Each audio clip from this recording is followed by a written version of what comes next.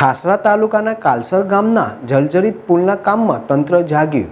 પુલના સમારકામનું કાર્ય પૂર્ણ થતાં ગામજનોમાં ઉત્સાહ.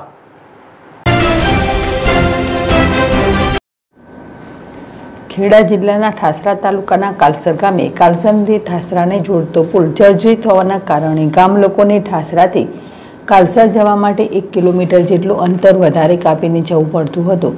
આ પુલની બાજુમાં એક નાનો પુલ આવેલો હતો. તે પણ અત્યંત જર્જરિત હાલતમાં હતો.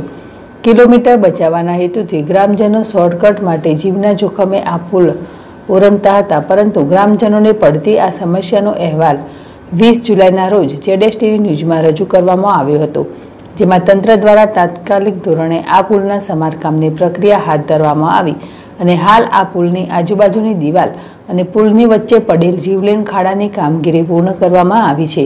કાલસર ગામના ગ્રામજનોને પડતી મુશ્કેલીઓની સમસ્યાનો અંત આવતા ગ્રામજનોમાં ખુશીનો માહોલ જોવા મળ્યો હતો અને કાલસર ગામના સરપંચ સલમાબાનુ તથા ગ્રામજનોએ જેડેશ ટીવીનો આભાર વ્યક્ત કર્યો હતો.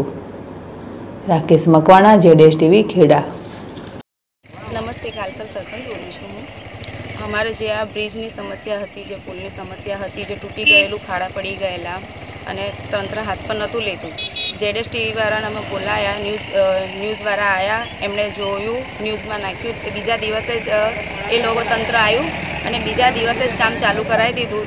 જે ખેડૂતોને આવવા જવામાં જે તકલીફ થતી હતી, એ હવે નહીં થતી. ખાડાવાળા પુરાઈ ગયા છે, બે બાજુ પારી બંધાઈ ગઈ છે કમ્પ્લીટલી હવે થઈ ગયું છે.